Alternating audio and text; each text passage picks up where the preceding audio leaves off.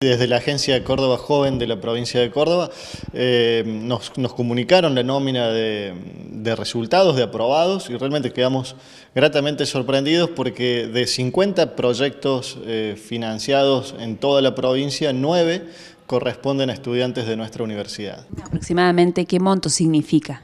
Bueno, em, eh, son 200 mil pesos por proyectos, lo que, lo que hace que son 1.800.000 pesos para nuestros estudiantes para que puedan eh, desarrollar proyectos que son innovadores de desarrollos de servicios, desarrollos de productos o incluso puesta en marcha de empresas de contenido eh, de conocimiento, con alto contenido de conocimiento.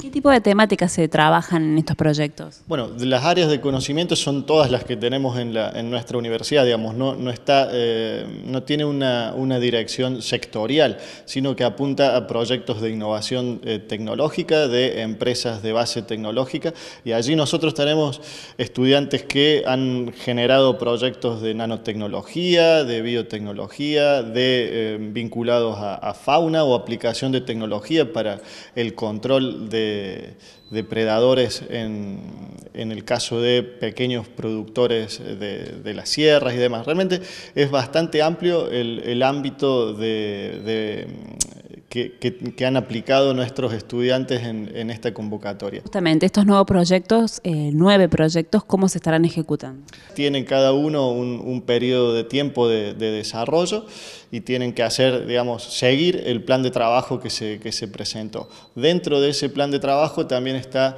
una aplicación económica o, tratar de identificar cuáles son eh, los sectores económicos de interés que tienen esos desarrollos que plantearon los, los estudiantes. Bueno, y allí también los vamos a estar eh, acompañando y pueden contar con, con el asesoramiento de, de nuestro equipo en, en la incubadora de empresas.